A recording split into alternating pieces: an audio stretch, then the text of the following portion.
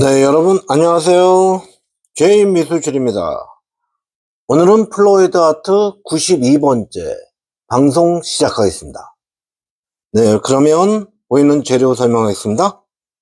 아, 지금 오른쪽으로부터 Prussian blue, yellow, violet,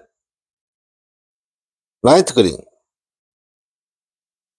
sky blue, 그리고 burnt sienna, red, 오렌지, 핑크, white, 그리고 요거는 어, cell 활성제죠. 네, white. titanium white라고 하죠.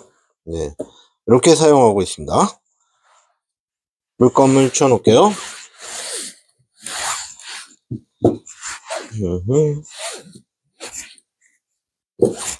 어, 그리고 지금 보이는 아 요거는 어, 귀지압봉 그림 그릴 때 사용하는 재료죠. 네 그리고 어, 요거는 뭐 코팅지 요거는 밀때 이렇게 작업할 때 사용합니다. 네 그리고 캔버스 사이즈는 어, 정사각형 캔버스 30 곱하기 30cm 캔버스를 사용하고 있습니다. 네, 사이즈가 이게 아닌데. 네, 일단 넘어갑니다. 아, 조금 작아졌죠. 어, 그리고 지금 보이는, 어, 여기에다가는, 네, 제가 재활용 캔버스에다가 재활용 블랙 물감을 사용하고 예쁜 모양을 그려놨습니다. 아, 그리고 오늘의 주제는 여러분, 인사를 안 했네요, 또. 여러분 사랑해요. 하트 뽕뽕. 하트 인사. 네. 네, 오늘의 주제는 금사철 꽃의 지혜입니다. 금사철 꽃의 모양입니다. 지금 보이는 어, 영어로 월즘 그쵸? 네, 그래서 오늘 여기다가 어, 지혜의 에너지를 표현해서 여러분과 저와 함께 네, 공감하는 좋은 시간을 갖도록 하겠습니다. 금사철 꽃을 그리는 거죠. 네, 그러면 어, 오늘의 주제를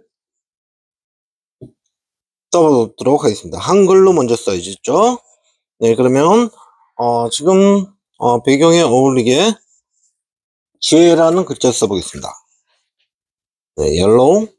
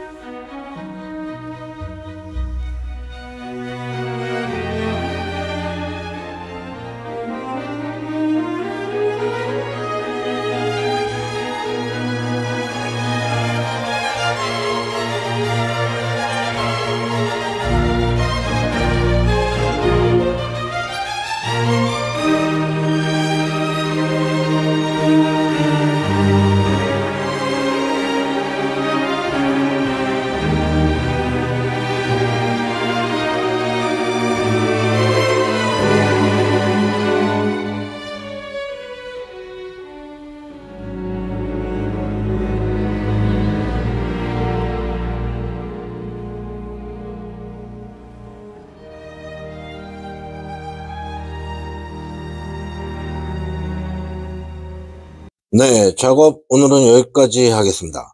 그동안 시청해 주셔서 감사드리고요. 구독과 좋아요, 알림 설정 꼭 부탁드립니다.